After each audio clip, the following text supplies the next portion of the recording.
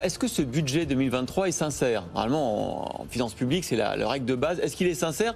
Vous tablez sur 1% de croissance pour obtenir 5% de déficit. Est-ce que c'est pas un peu optimiste? Euh, bien sûr qu'il est sincère. En tous les cas, euh, c'est no- c'est notre objectif. Euh, 1%, c'est plutôt la fourchette haute. Vous avez raison. Il y a un peu de volontarisme dit politique 0,8, par rapport à ça. moins 0,5, Mais, hein. mais on se permet euh, d'être sur la fourchette haute parce que sur l'année 2022, les mêmes qui prédisaient une croissance l'année prochaine de 0,5 prédisaient une croissance de 2 et on va terminer probablement à 2,7, vrai. 2,6, 2,7. Donc euh, sur l'élan, l'inertie un petit peu d'année 2022, je pense qu'on peut euh, atteindre ce 1%. En tous les cas, c'est l'hypothèse de base. Alors sincère, mais euh, on l'a appelé à BFM Business le budget bouclier. Bouclier euh, sur l'énergie, bouclier sur le pouvoir d'achat, parce qu'il essaye de protéger les Français.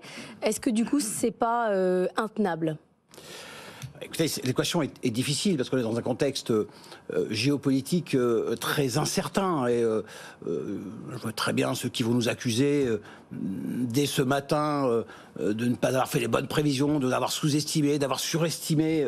donc il faut être très modeste, je crois, et être capable de réagir parce que la crise va continuer à évoluer. Bien malin qui peut nous dire aujourd'hui quel sera le cours du baril l'année prochaine, euh, quand va se terminer la guerre en Ukraine.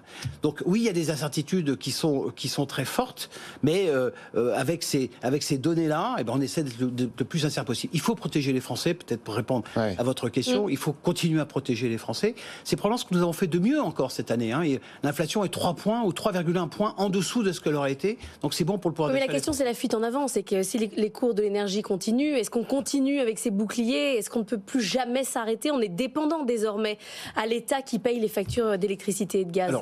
Deux choses, vous avez raison. Euh, donc notre priorité, c'est pas de protéger nécessairement les Français, notre priorité, c'est de faire baisser le prix du gaz et le prix de l'électricité. hein. Donc on a une conjoncture aujourd'hui, hum, pas de chance avec ce qui se passe euh, côté de nos centrales euh, nu- nucléaires, mais on essaye évidemment euh, au niveau européen de découpler le prix du gaz et le prix de l'électricité, on essaie de plafonner le prix du gaz, et ça, ça devrait amener mécaniquement, maintenant que nos réserves pour l'hiver euh, sont prêtes, ça devrait amener une baisse du pouvoir d'achat.